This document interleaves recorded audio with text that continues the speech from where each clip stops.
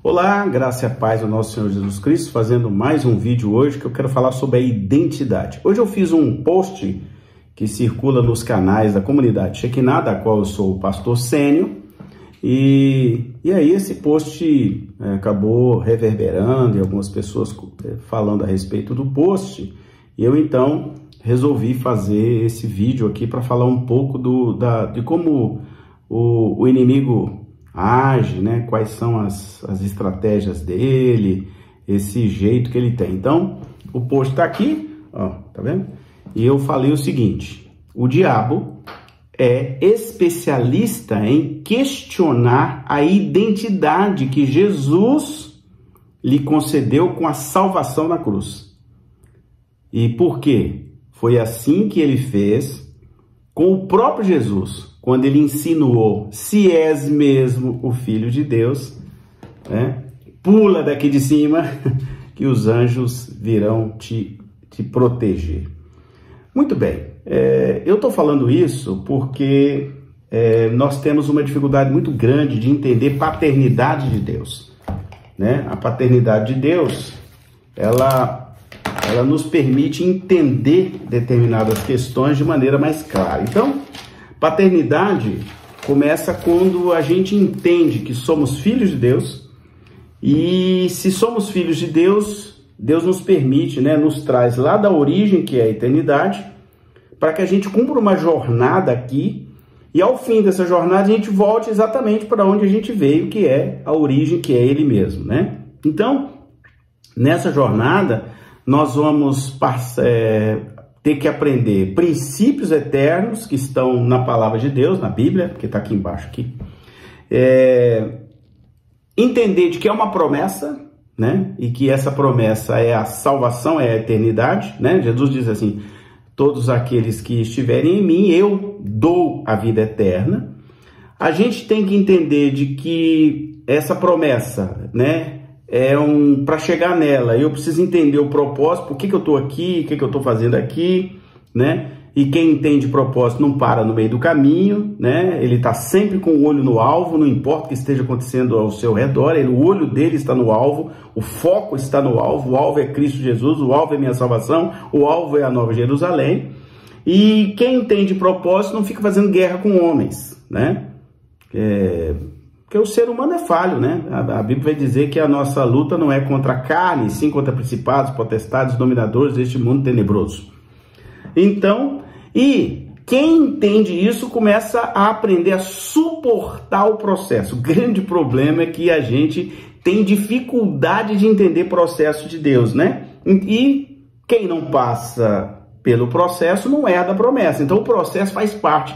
Aí eu falei hoje sobre né, o povo hebreu, né, 400 anos de cativeiro no Egito, depois eles saem do Egito, e aí Deus começa um grande processo com eles no deserto, né, e, e no deserto observe que Deus faz vários milagres, abriu o Mar Vermelho, fechou o Mar Vermelho sobre as, as tropas egípcias, Deus fez sair água de uma pedra chamada Meribá, Deus é, mandou o maná para alimentar eles toda manhã, é, Deus mandou codornizes quando eles ficaram reclamando demais, né?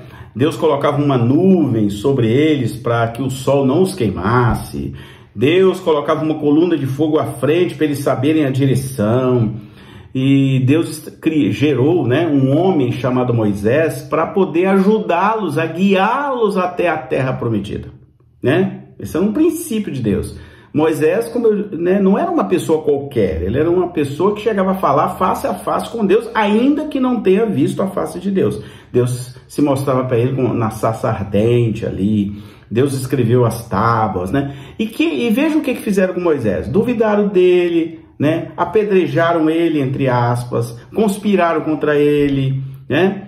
Né? Lembra lá daquele pessoal que depois Deus abre até o, a terra e engole lá um monte de gente porque conspiraram contra Moisés, né? duvidaram de Moisés, acharam que né, Moisés não tinha essa intimidade toda com Deus assim, né?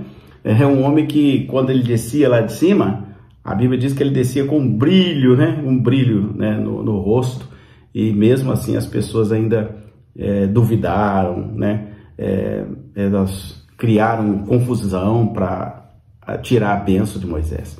Então, o, eu estou falando isso porque o grande segredo da vida cristã, e a gente demora a entender isso, demora, demora muito, é a nossa identidade, né? Então, assim, é, a identidade é um caminho nobre, um caminho curto para que a gente possa entender a bênção de Deus que está sobre nós. Então, enquanto a gente não entende que nós somos filhos de Deus, que nós não somos mais criatura de Deus, a gente sofre muito. E aí o, o inimigo, né, ele, ele vem e lança sobre você as setas que voam de dia e de noite.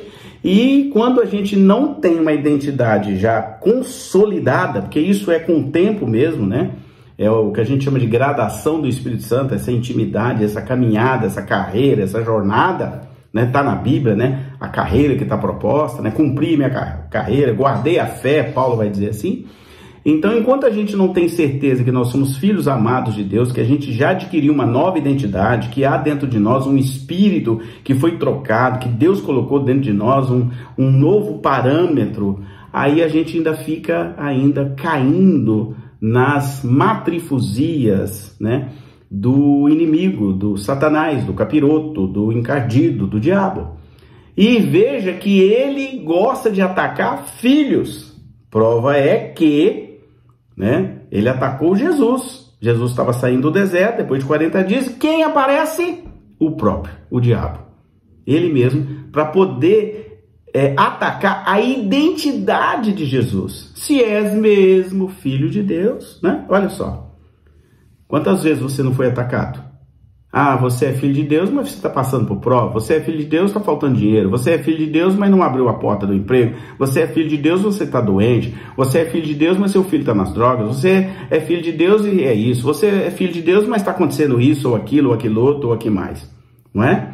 Você é filho de Deus, mas você é uma pessoa com problema. Você é filho de Deus, mas você é doente mental. Você é filho de Deus, mas você tem isso. Você é então, assim, isso é uma especialidade do inimigo. Que que, outra coisa, você está na igreja, mas não está acontecendo isso. Você está na igreja, mas não aconteceu aquilo. Eles te entregaram a palavra profética, não cumpriu. Né?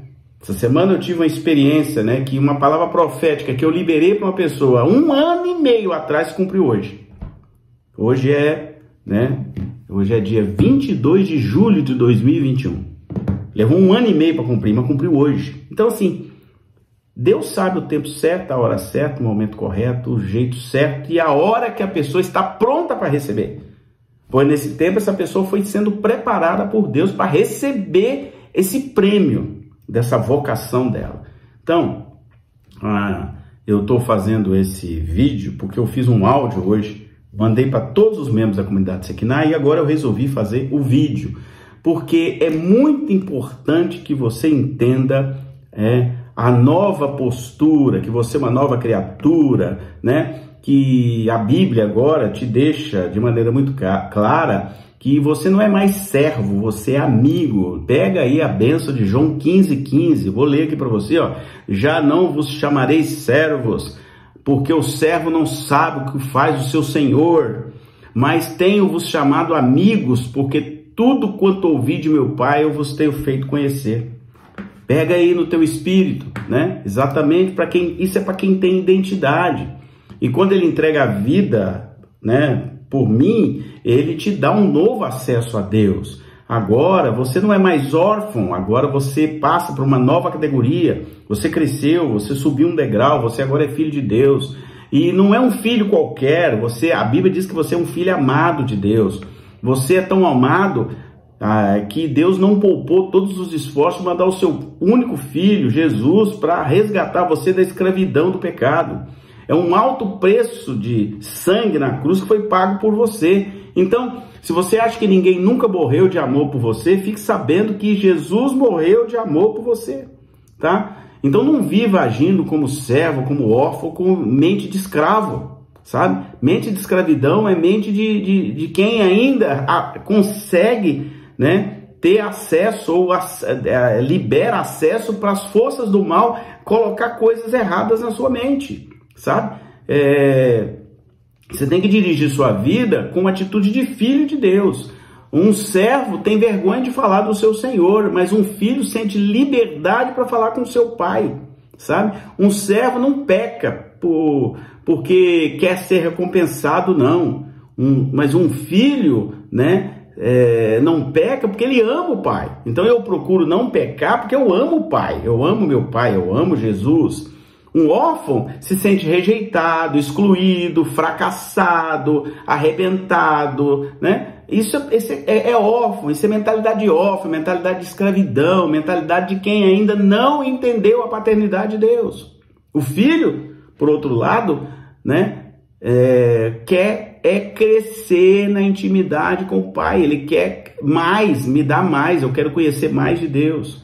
Então, veja bem, o, o, o órfão quer ser reconhecido pelos outros, né? Eu quero que os outros vejam isso ou vejam aquilo da minha vida. Não, o filho quer passar mais tempo com o pai, para que o pai passe mais tempo com ele. Então, veja bem, paternidade, guarde isso aí, paternidade. É impossível falar de Cristo sem entender paternidade. Afinal, quando Cristo morreu para nos dar a salvação, nos tornamos filhos de Deus por adoção, assim como está escrito em Gálatas. Eu vou ler Gálatas para você.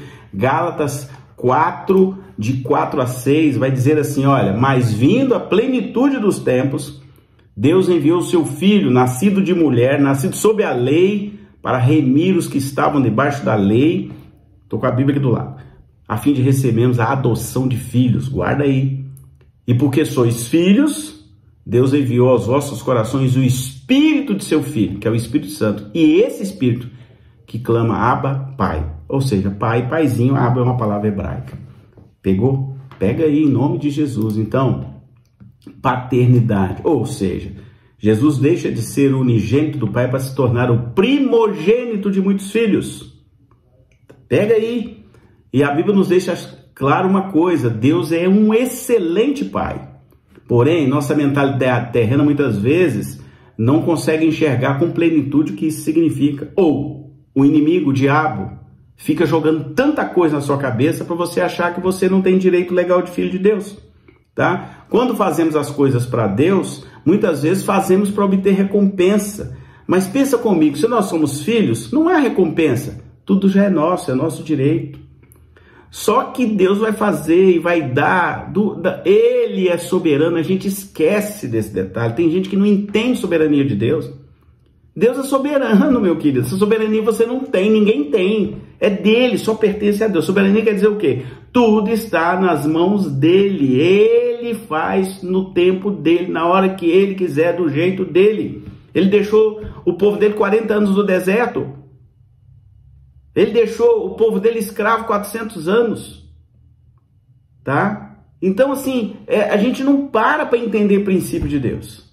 A gente quer tudo na hora. Deus não aceita negociata. Deus não faz negociata com ninguém.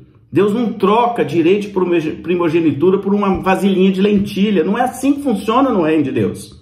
Então, meu querido, então não faça nada para Deus esperando troca. Não funciona assim no reino de Deus, tá?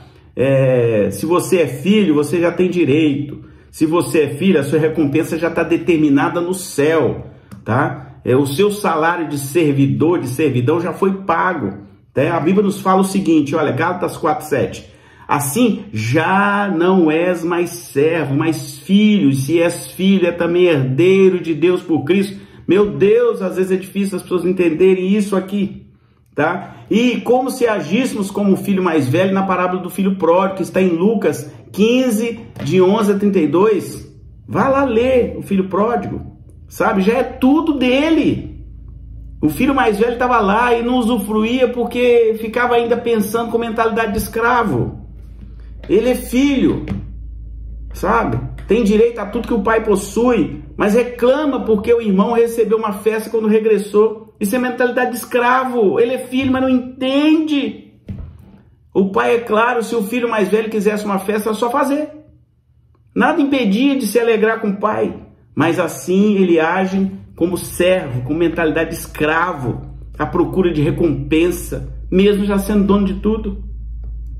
É isso que Paulo nos alerta em Gálatas 4:1. Eu vou ler para você, ó, Gálatas 4:1. Tá escrito assim: "Digo, pois, que todo tempo que o herdeiro é menino, em nada difere do servo, ainda ser, ainda que seja senhor de tudo.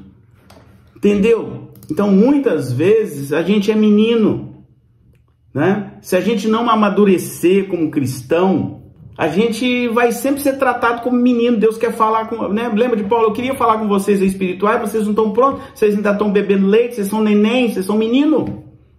Sabe, muitas vezes Deus quer até nos, nos liberar certas coisas mais profundas, mas a gente tem mentalidade de menino. A gente tem mentalidade de quem ainda não se apropriou, que ainda não tem a maturidade cristã. Então, menino herdeiro e menino servo são tratados da mesma forma nesse texto. Lê lá de novo, Gálatas 4.1. Então, meu querido, é, mesmo sendo dono de tudo, ainda tem gente que tem a mentalidade de neném, mentalidade de criança, mentalidade de escravo, mentalidade de servo, sabe? Então, temos que ganhar maturidade temos que ganhar intimidade com Deus para entender que eu sirvo a um pai que é dono de tudo, então eu também sou dono de tudo. Aí, quando ganhamos essa maturidade, essa consciência de filhos, aí passamos a agir como co-herdeiros em Cristo Jesus. A gente já sabe a herança.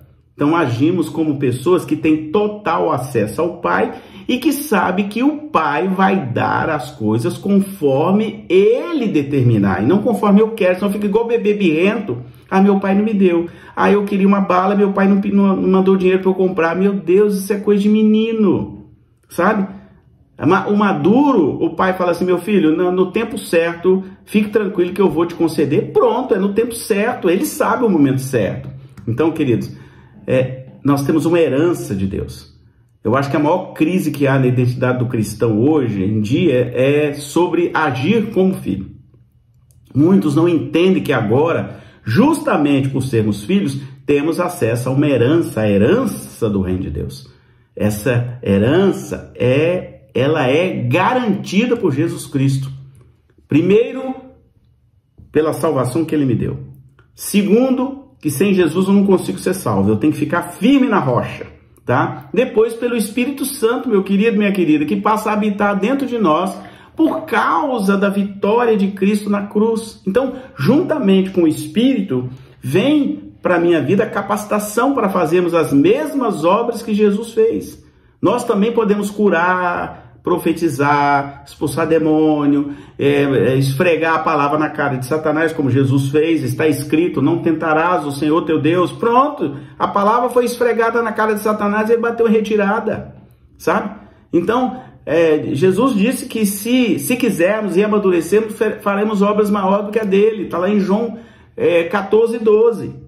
Coloquei aqui na minha Bíblia, olha lá, na verdade, na verdade vos digo que aquele que crê em mim também fará as obras que eu faço e as fará maiores do que essa, porque eu vou para o meu Pai.